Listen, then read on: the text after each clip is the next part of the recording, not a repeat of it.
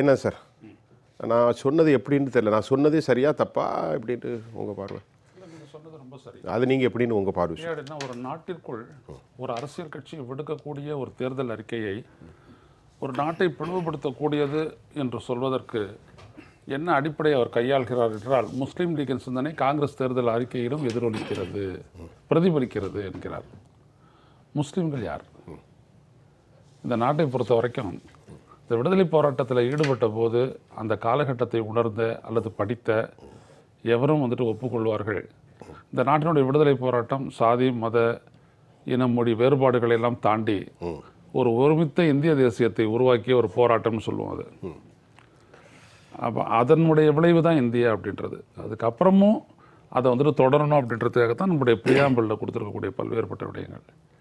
அப்படிப்பட்ட வரும்போது ஒரு செக்மெண்ட் ஆஃப் தி சொசைட்டி ஒரு சமூகத்தினுடைய ஒரு அங்கத்தினுடைய தேவைகளை அல்லது குறைகளை அல்லது அவர்களுக்கு ஏற்ப இழைக்கப்பட்டுள்ள அநீதியை பற்றி எடுத்து கூறுவது நாட்டை பிளவுபடுத்துவதாகாது. ஏன்னா சிஐஏ குறிப்பிட்டு நாங்கள் வந்து அதை நீக்குவோம் அப்படின்னு சொல்கிறத அவர் வந்துட்டு பாஜக பா மோடி அதை வந்துட்டு ஒரு சாதனையாக சொல்கிறாரு அவர் சொல்லக்கூடிய விடயம் என்ன அப்படின்னு பார்த்தீங்கன்னா எழுபது ஆண்டு காலத்தில் காங்கிரஸ் செய்யாததை நாங்கள் செய்தோம்னு சொல்லும்போது அவர் மூன்று விடயத்தை தான் குறிப்பிடுறாரு.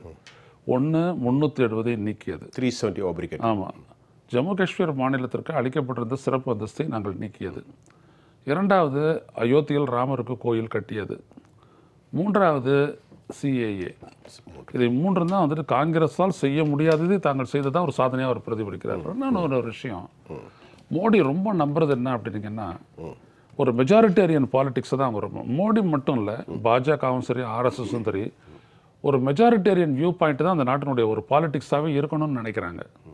அது இன்னைக்கு பார்த்தீங்கன்னா பெரும்பாலான வட இந்திய ஊடகங்கள் குறிப்பாக ஆங்கில ஊடகங்களில் அது பெருசாக வாதிக்கப்படுது ஒரு சின்ன விடயத்தை கூட ஒரு பெருசாக ஒரு சின்னதாக வந்துட்டு பார்த்தீங்கன்னா ஹரியானா மா மாநிலத்தில் ஒரு மாவட்டத்தில் நடந்த ஒரு கலவரம். கலவரம். அந்த கலவரத்தோடு பார்த்தீங்கன்னா கலவரத்தில் இரண்டு பேரை காப்பாற்றிய ஒரு பத்திரிகை உட்பட இரண்டு பேரை காப்பாற்றிய ஒரு முஸ்லீமுடைய வீடு மறுநாள் காலையில் இந்த புல்டோசரை கொண்டு வந்து இடித்து தள்ளப்பட்டது. சரி சரி. இப்போ இது என்ன அப்படின்னீங்கன்னா வாட் இட் இண்டிகேட்ஸ் நீ ஒரு நல்லது செஞ்சால் கூட நான் ஏற்றுக்க மாட்டேன்.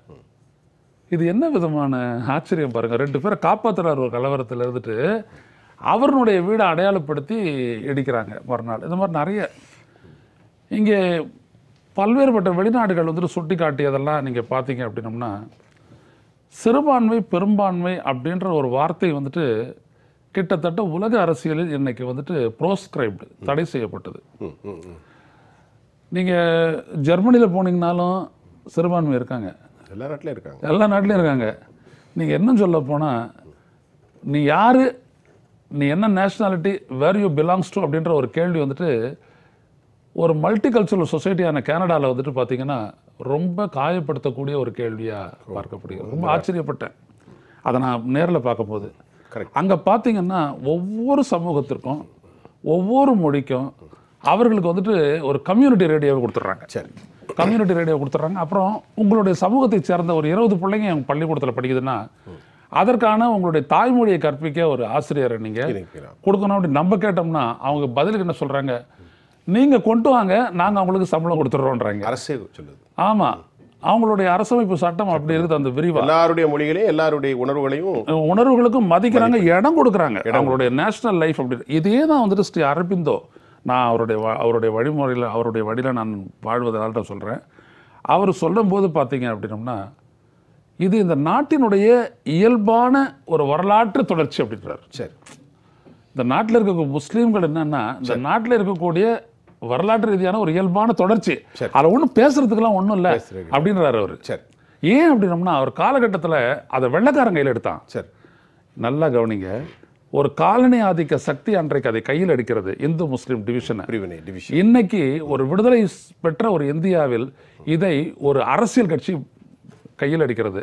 அங்கே விடுதலையை ஒடுக்கிய வெள்ளைக்காரன் இங்கே விடுதலைக்கு பங்கேற்காத ஒரு ஆர்எஸ்எஸ் அதனுடைய அரசியல் தொடர்ச்சியான பிஜேபி சாதிவாரி கணக்கெடுப்பு அப்படின்றது வந்துட்டு ஒரு பிளவாக பார்க்குறீங்க சாதிவாரி கணக்கெடுப்பு அப்படின்றத வந்துட்டு மோடி அரசனுடைய சமூக நீதி மற்றும் அதிகாரமளித்தல் அமைச்சகத்தில் இருந்துட்டு தமிழக அரசுக்கு ரெண்டாயிரத்தி இருபதில் ஒரு அறிவிக்கை வருது.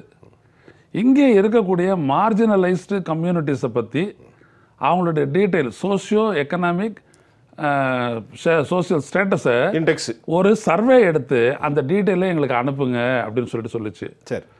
அது பிளவுபடுத்தக்கூடிய செயல் அப்போ மோடி அரசு செய்தது. ம் ம் ம் ம். ம்?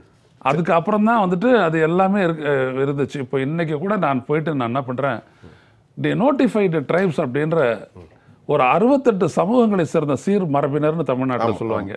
அந்த சீர் மரபினர் சமூகங்களுக்கு ஒற்றை சான்றிதழ் வேணும் அப்படின்றதுக்காகவே திரு முதலமைச்சர் அவர்களை நான் சந்தித்து பேசுறதுக்காக இன்னைக்கு போயிருந்தேன். அது விஷயமா அந்த இது கோரிக்கை எடுத்து வச்சுட்டு வந்தோம்னு வச்சுக்கோங்க.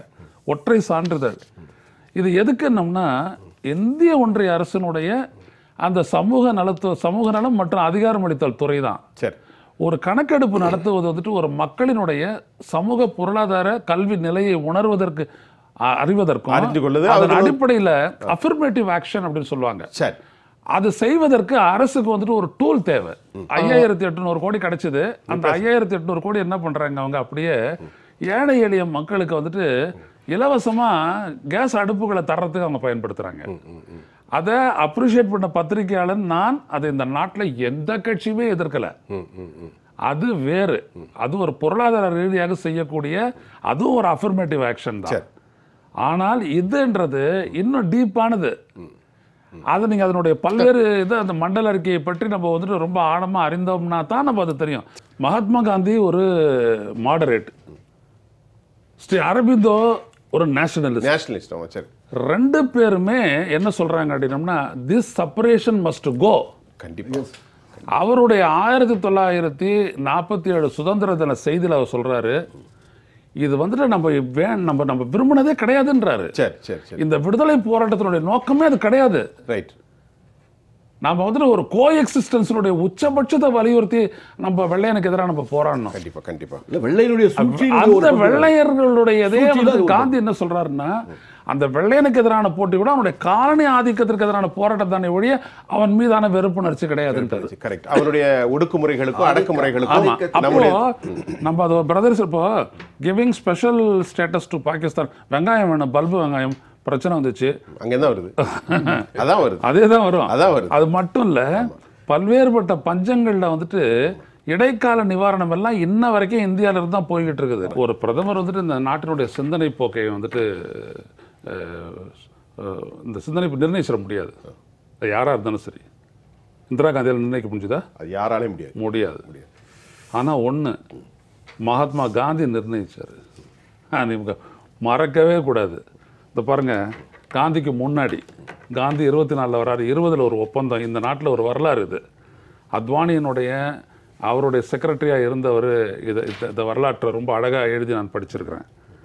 ஆயிரத்தி தொள்ளாயிரத்தி இருபதுகளில் ஜின்னாவுக்கும் பால்கங்காதர திலகருக்கும் இடையே ஒரு ஒப்பந்தம் பேர் லக்னோ ஒப்பந்தம் லக்னோ பேக்ட்னுவாங்க சரி அந்த லக்னோ ஒப்பந்தத்தினுடைய சாராம்சம் என்னன்னா ஒரு விடுதலை பெற்ற இந்தியாவில் எந்த அடிப்படையில் வந்துட்டு முஸ்லீம்களுக்கான ரெப்ரசன்டேஷன் இருக்கணும்னா எந்தெந்த பகுதியில் அவங்களுக்கான பாப்புலேஷனுடைய ஸ்ட்ரென்த் இருக்குது இன் டேர்ம்ஸ் ஆஃப் பர்சன்டேஜ் அந்த பர்சன்டேஜை விட கூடுதலாக ஒன்று ஒரு பர்சன்டேஜ் ரெண்டு பர்சன்டேஜ் கொடுத்து அவங்களுடைய ரெப்ரசன்டேஷனை வந்துட்டு ரவுண்ட் அப் பண்ணி மேலே கொண்டு வருது not rounding down round off round up போட்டு பண்ணுறதுன்னு சொல்லிட்டு ஒரு ஒப்பந்தம் போட்டாங்க.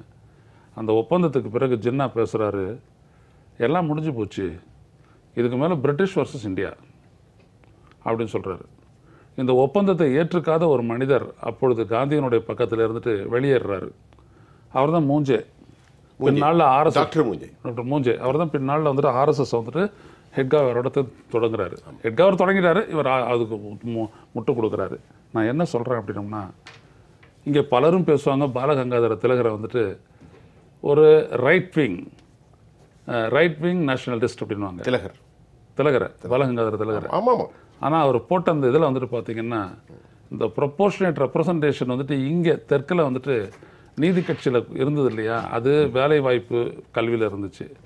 இதை முதல்ல ஒரு கான்ஸ்டிடியூன்சியில் கொண்டு வந்துட்டு அவங்களுக்கு இருக்கணும் அப்படின்னு சொல்லிட்டு ப்ரொப்போஸ் பண்ணி ஒரு ஒப்பந்தமாக்கி அதன் மூலம் தேர்வாக்கி ட்ரையாங்கிளாக இருந்த இந்திய விடுதலை போராட்டத்தை இரு ம- ரெண்டு மையங்களாக்கி ஒரு பக்கம் வெள்ளைக்காரன் ஒரு பக்கம் இந்தியர்கள்னு கொண்டு வந்தது பாலகங்காதர திலகர்.